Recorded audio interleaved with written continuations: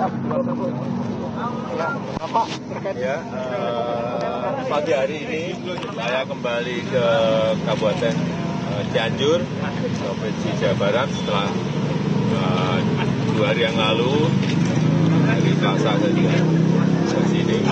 Saya ingin memastikan bahwa proses evakuasi berjalan dengan baik.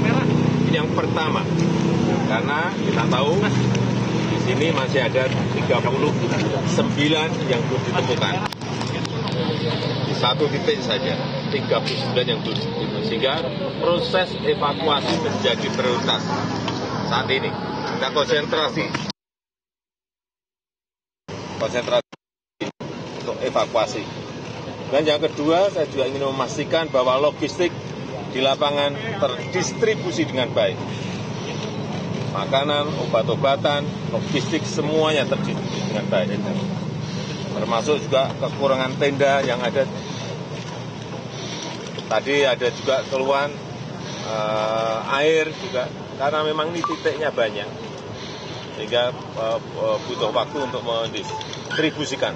Saya ingin pastikan itu semuanya segera terdistribusi.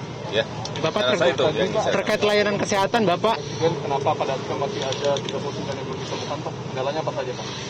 Ya karena kondisinya curam, masih hujan, dan masih ada gempa susulan tanahnya labil, sehingga perlu kehati-hatian. Tapi tadi Menteri PU sudah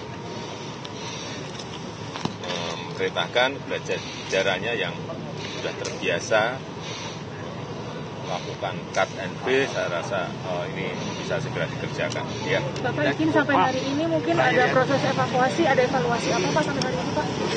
saya belum ke lapangan semuanya nanti setelah selesai saya baru ini uh, akan ada evaluasi yang akan saya sampaikan pada seluruh jajaran. Ya. Terima kasih Pak. Terima kasih Pak